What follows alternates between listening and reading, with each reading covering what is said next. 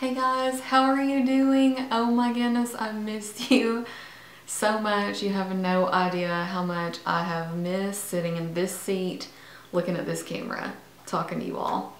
Um, I hope I don't look like a complete insane crazy person, and that is very possible because, you know, I'm pretty rusty at this. Um, I looked back at my channel the other day and I was like, I haven't posted a video since November. Like, we're almost in April. Um, needless to say, I've just been really busy doing the uh, the work thing and the mom thing and it just leaves um, basically zero time to come in here and do this.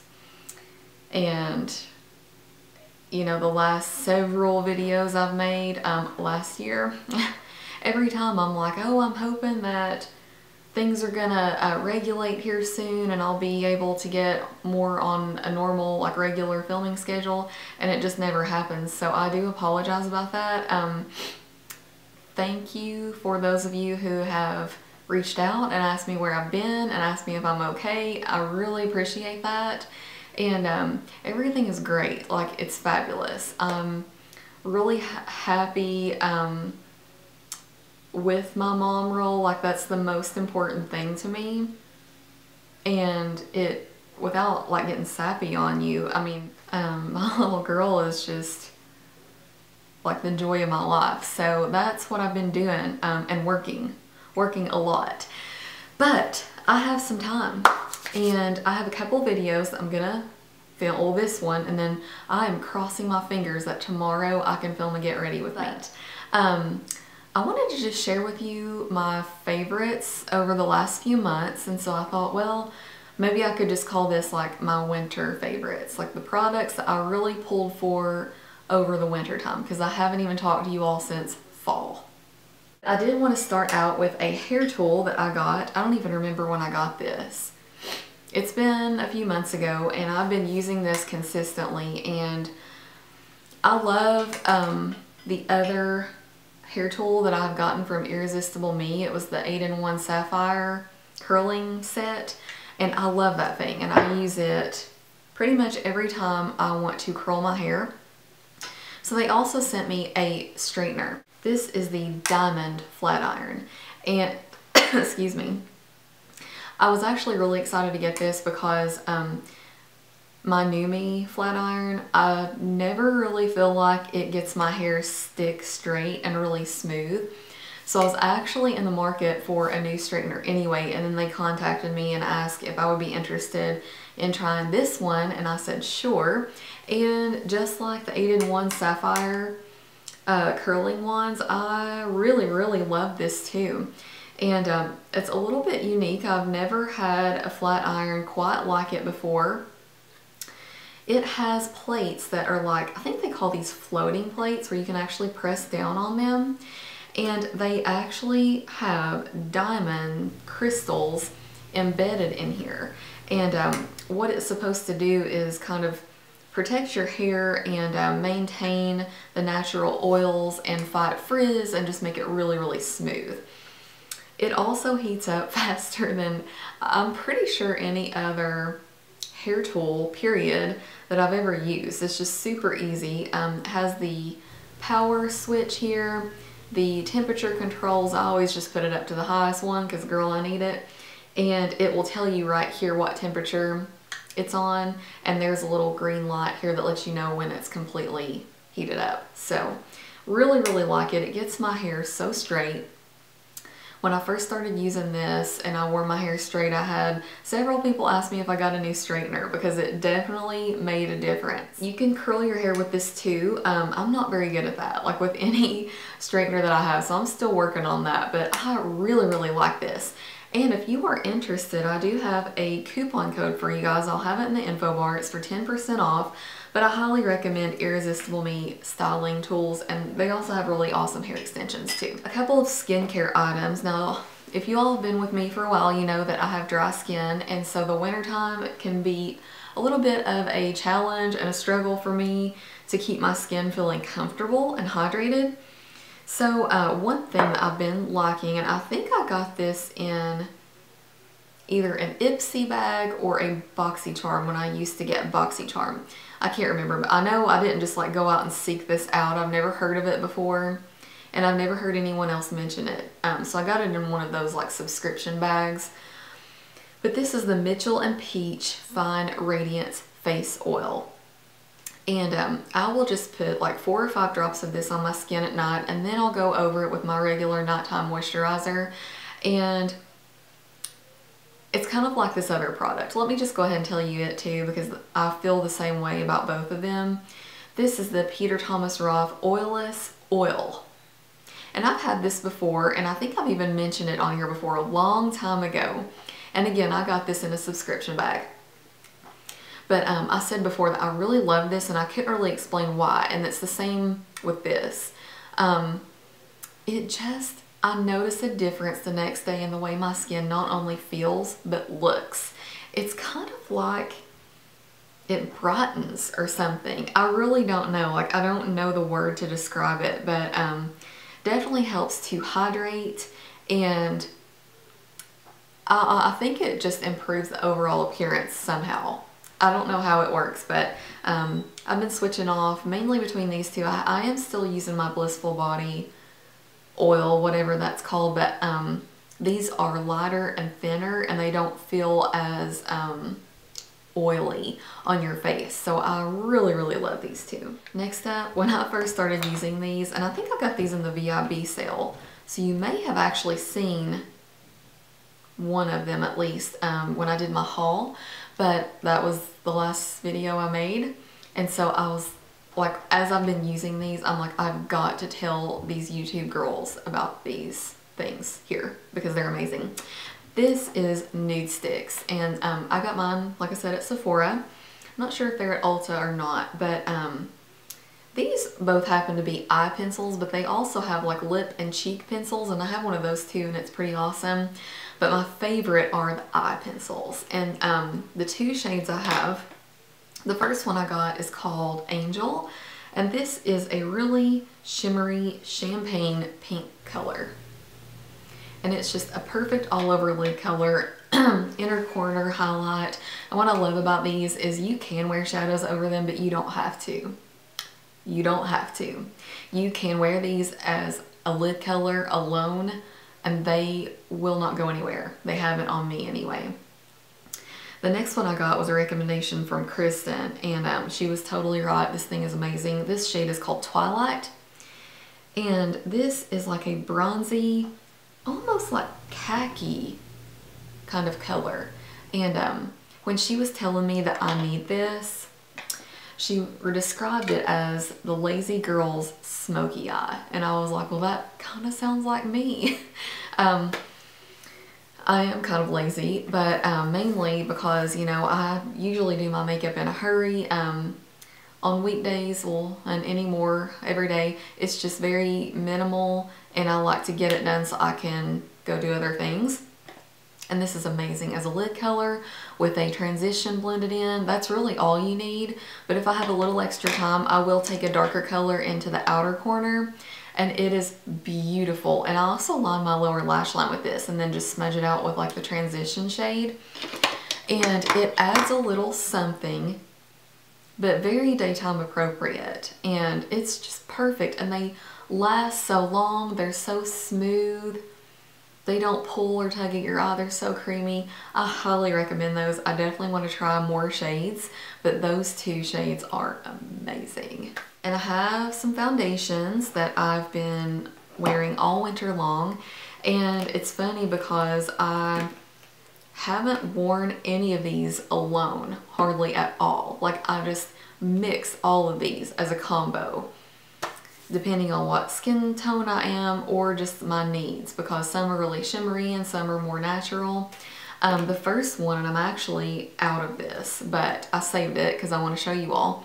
This is the Maybelline Superstay Better Skin Foundation, and um, I got the shade Porcelain. And the reason I had to mix this was because, disclaimer also, I feel like they look darker in the jar because um, I was in Target, I believe is where I got this. I was in Target and I was trying to find my shade and I've never tried this before. And I was like, well, that looks about right. But when I got it home and put it on, this is really pale. And granted, I am really pale, but um, it was a little bit like too much. I mean, I looked crazy. So I would mix this with other things, um, one of them being the Too Faced Born This Way foundation. And this shade is a nude. And when I'm my natural skin color like I am right now, this is a little bit too dark for me. But um, I would mix these two to get the perfect shade since this one's too light and this one's too dark. And I really, really like that. I really can't tell you what I think about this on its own because I didn't use it enough on its own to really know. But mixed, it's a really good like mixing foundation. This, um, I have mixed the more than I've worn it on its own, but I did self-tan a few times last week and I was able to wear this on its own and I love this. It's beautiful. What kind of finish does it say that this has? I don't even know. But I would say it's just like a really natural kind of finish. I don't feel that it's overly matte and it's definitely not dewy. It's just really natural and um, it made my skin look really smooth. So I really like that. And then for the same two of the same issues. I've been mixing this with this. This is the IT Cosmetics CC Your Skin But Better CC cream deal, you know. But this is the illuminating one. And um, in one of my last videos, I told you guys I wish, oh no, my battery, I've got another battery, got another backup, prepared. Let me go ahead and change it anyway. I said that I regretted purchasing this because it has straight up glitter in it and it just doesn't look good on my 33 year old skin and my acne scarring and pores and that sort of thing. And um, so I've been mixing it with this and occasionally, I forgot to mention this, I also mixed um, the Maybelline a lot with this. This is the Kat Von D Lock It Tattoo Foundation, but this is even darker than this. Um, so I kind of had to stop doing that once I got like super, super white. but um, it is a good thing to mix with this because this is like way matte, like way matte. And this is, you know, kind of glittery. But I'm doing really good because I'm actually using this up and I'm so proud of myself that I paid 40 bucks for this and I'm finding a way to make it work. Okay, so that's my foundation. Um, I've been wanting some luminosity, luminosity to my skin since it has been dry this winter and we're getting into spring and I want, you know, some dewy skin. So I've been using my MAC Strobe Cream. I had kind of put this aside for a long time and this is a brand new thing of it and I'm already down to right here. I just really, really love this. And um, yeah, I don't know. It's not, I think anyone could use this, I think. Um, because it doesn't have any glitter in it or anything like that. It just, if you use it underneath your foundation, it just gives you like the perfect amount of a natural glow. And I feel like it wears really well under foundation too. It doesn't make it get weird or anything. So Really been loving that. Um, for eyeshadows, this is going to be a really long video. For eyeshadows, um, I've been using the exact same old things I have used for the last year. And that is, you can tell, um, Vanilla Bean because it's like gone. Uh, this is from Makeup Geek and this is what I use to put all over my crease area and my brow bone to make my shadows blend better. And I actually had to get another one, so repurchase. And Barcelona Beach, also for Makeup Geek. I'm gonna need another one of these soon too. This is the perfect transition shade for when I'm super pale because it's a little bit more on the cool side. Um, normally I was using like latte, yeah, latte, but um, it's a little too warm for me when I am this fair. It just doesn't look as good on me. So um, really been loving those two. I know that's kind of boring, like just really basic shades, but it's been an everyday thing. And then um, some lid colors that I've been wearing a lot are both Makeup Geek foiled shadows. This one's in Grandstand and this one is in the Spotlight. This is a bronzy color and this is a peachy champagne color. They're just basically foolproof, like I said, where I'm in a hurry all the time. It's easy to just slap this stuff on and go. Speaking of Makeup Geek, I also got a couple of um, well, I got a new eyeshadow. This isn't new but for them, but it's new for me. I wanted a darker brown. The darkest one I have from them is Mocha, and I wanted one that was even darker. And this is Americano. It's a matte dark brown, and it is beautiful.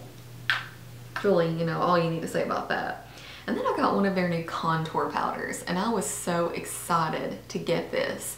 I got Bad Habit, which is the warm fair shade. Um, I'm not very warm, but I wanted the warm one so that I could maybe use it also as a bit of like a bronzer shade. Um, I just don't like a lot of cool tones on me, so um, I didn't know how that would work. So I just went ahead and got the warm fair, and this is um, awesome. It's awesome. Um, you have to be really careful with it if you are my color because it is so pigmented.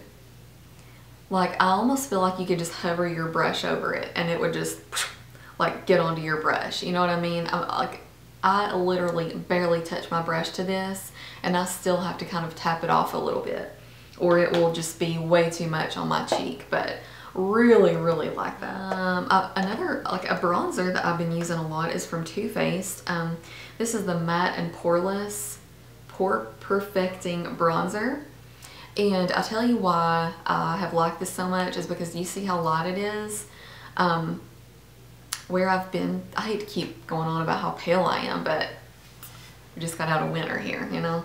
And um, not everything works for pale people, but this really does. If you are very fair and you would like a really natural bronzer, highly recommend this. It is matte. It's it's not very cool. It is a little more, you know, on the warm side. Um, but it's just really, really pretty if you want something and you're super pale. I've also pulled back out my Hourglass little trio palette here, ambient lighting palette. This is dim light, incandescent light, and radiant light. And I'm pretty sure these two are just in this. Correct me if I'm wrong, but um, my favorite is dim light, and it is permanent. You can get it um, individually. But I just, I really like that. Like I said, I've been wanting some more, you know, luminous skin. So I really, really like those. And for my cheeks, um, been going back and forth in between a peach and a pink. You all know how I feel about MAC Warm Soul. I think anyway. Have I been talking about this or do I just feel like I have or haven't been making videos? I love this. This is the prettiest blush I think I have. It's probably my favorite blush that I have. It's so pretty. It's just kind of a luminous um, peachy color. It doesn't look like much swatch, but it is so pretty on your cheeks. When I want a pink, I've been reaching for Tarte Dollface. It's just a really true pink. It's matte. It's real. It's just awesome. Oh, and one more thing. This is like a rediscovered product. I bought this and haven't really used it a lot and I'm like, that's stupid. So I, busted it back out and this is my First Aid Beauty Eye Duty Triple Remedy like treatment thing. You all have probably seen this, but you squeeze it out right there and then you smooth it on your under eye area and it has a really cooling tip to it. And it has a little bit of pigment to it, um, kind of that salmony kind of tone, so it corrects a little bit. I mean, not a ton. It's not like putting a corrector on, but um, it's just nice. And I'm like, you know, I need to use that because I did buy it and it wasn't cheap. So, no, there's one more thing. I have a perfume. This is, um, this is in my little Scentbird thing, but I haven't even started using this yet because I have a smaller um, size of it that I got from Sephora. But this is the YSL Black Opium. Oh my gosh, it smells so good I kind of like heavy scents. You know, that's what I'm in the mood for. They don't bother me. I kind of like something heavy. And so um, I bought like a little, it's a roller ball size at Sephora, but it's a spray because I don't really like roller balls because I know I just won't use them. I like the spray. That way I can like spray it over my clothes if I need to because, you know, it's wintertime. And um, it is more of a heavy scent, so I feel like it's really appropriate for winter. But I'm one of those people that I'm not like a seasonal person. Like I'll wear it all summer because, you know, I have even more of it here. I went ahead and got it in my Scentbird. And I was like, well, that'll save me from spending the $100 on, um, you know, like the big size of it. And by that time, I might want something a little lighter. So I'm gonna stop rambling because I've like really rambled a whole lot. So I really hope you guys enjoyed this video. I am sorry about my absence. I hope one day soon I can do better, but I am gonna film another video tomorrow, fingers crossed. Um, yeah, I think that's it. So definitely look in the info bar and I'll have that coupon code for you if you want to check out Irresistible Me.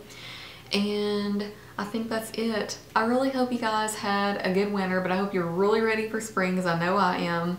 And hope you're just uh, well and we're having a good week. so I'll talk to you later. Bye.